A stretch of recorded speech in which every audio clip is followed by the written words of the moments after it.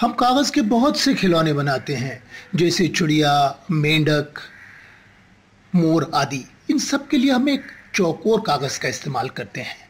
आज हम एक गोल कागज़ को इस्तेमाल करके एक कबूतर बनाएँगे। इस गोल कागज़ से ये बहुत ही सुंदर उड़ने वाला कबूतर बनेगा। इस कबूतर को बनाने के लिए आपको एक गोला चाहिए 20 सेंटीमीटर व्यास का 10 सेंटीमीटर रेडियस का। सबसे पहले इस गोले को आप आधे में मोड़ें।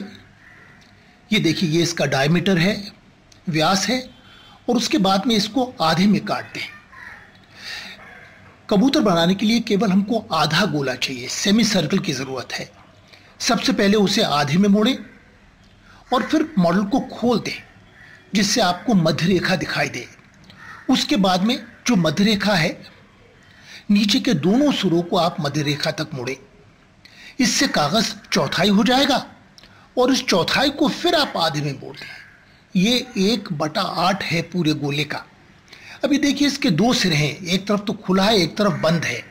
अब जो खुले सिरे हैं, उसके समानांतर आप एक लाइन को काटें और इस कट को आप थोड़ा ऊपर मोड़ दें ऊपर की तरफ़ भी और पीछे की ओर से भी। इससे ये कबूतर के पंख बन जाएँगे। अब एक छोटी सी चोंच मोड़ दें।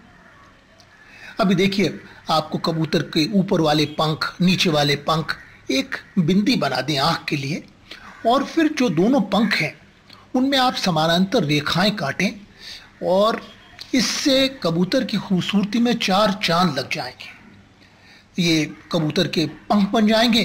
देखिए कितना खूबसूरत लग रहा है देखने में ये कबूतर, जैसे बिल्कुल उड़ने को तैयार हो।